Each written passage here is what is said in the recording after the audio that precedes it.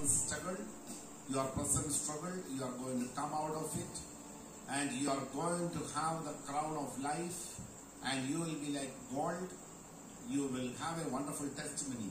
Today's testimony, live testimony. Annama from Bangalore giving a wonderful testimony and she comes here for a Thanksgiving retreat.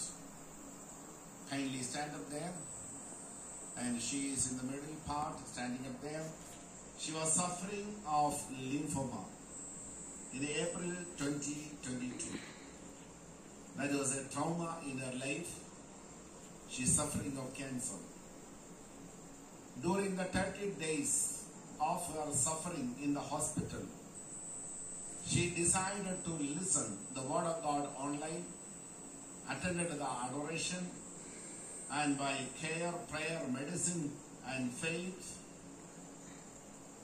beyond of the expected time and beyond of the expectation, she is perfectly healed, and all her scan report shown positive.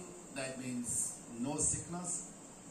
Every test is joyful, and also no trace of cancer in her body.